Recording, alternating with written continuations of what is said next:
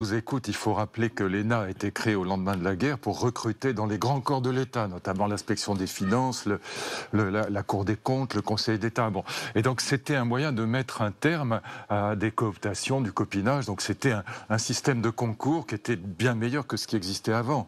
Et donc euh, moi j'ai eu évidemment à mon cabinet, comme tout ministre, une pléiade d'énarques qui étaient des gens formidables, dont j'ai jamais eu à me plaindre, qui étaient des gens épatants, et qui, sans lesquels j'aurais jamais pu euh, travailler convenablement. Donc euh, voilà je crois qu'il y a beaucoup de démagogie euh, dans cette euh, suppression de l'ENA qu'on remplacera de toute façon par un haut, euh, un institut des hautes études d'administration publique ou quelque chose comme ça. Donc le, problème, c'est pas de supprimer l'ENA, c'est éventuellement de modifier tel ou tel, tel ou tel aspect de, de, cette école. Mais encore une fois, je trouve qu'il y, a beaucoup de démagogie dans la critique de l'élitisme aujourd'hui. Évidemment, comme ancien ministre de l'Éducation nationale et comme moi-même légèrement diplômé, je continue à défendre les diplômes, y compris, y compris évidemment l'ENA.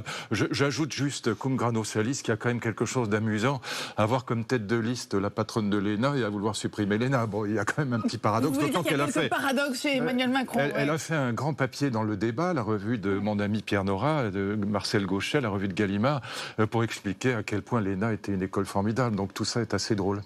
Et alors,